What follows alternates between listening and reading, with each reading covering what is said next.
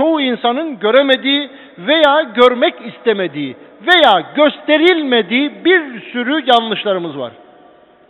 Bunları akıllarımızla, bunları imanlarımızla, bunları vicdanlarımızla, bunları e, şahsiyetimizle, onurumuzla, Müslüman kimliğimizle tespit edip ortaya çıkartmak, insanların önüne koymak, ona karşı insanların tedbir almasını, tavır takınmasını, saf belirlemesini sağlamak zorundayız. Aleyhisselatu vesselamın tavrı budur. Aleyhisselatu vesselamın konumu, pozisyonu budur. Aleyhisselatu vesselamın net çizgisi budur. Hayatını okursanız görürsünüz. Çilelerle geçmiş bir 25 yıl. Çilelerle geçmiş. Savaş meydanlarında koşuşturmuş. Postunun üzerinde can vermemiş. Savaş meydanlarında koşuşturmuş.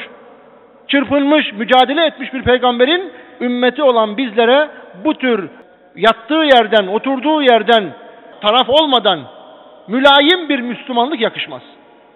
Müslüman dediğin cevval olacak. Müslüman dediğin bilinçli olacak. Müslüman dediğin vakarlı olacak. Müslüman dediğin kararlı olacak. Müslüman dediğin bilinçli olacak. Müslüman dediğin ayakta olacak, uyumayacak. Müslüman dediğin şuurlu olacak, diri olacak. Müslüman dediğin düşmandan gelebilecek olan tehlikeleri sezecek, ona göre yarınlarını dizayn edecek.